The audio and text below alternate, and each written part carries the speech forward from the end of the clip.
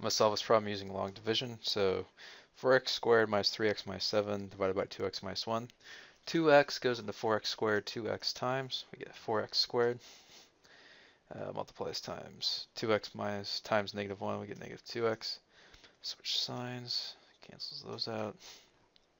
We get negative x minus 7. Uh, so that goes into there. Um, minus 1 half times and then we get a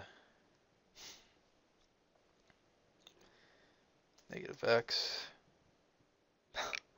minus uh, plus a half. So then switch signs.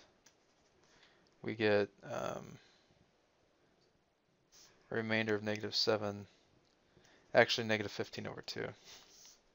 So our final solution is 2x minus 1 half minus I guess you could say 15 over 2 quantity 2x minus 1. There you have it.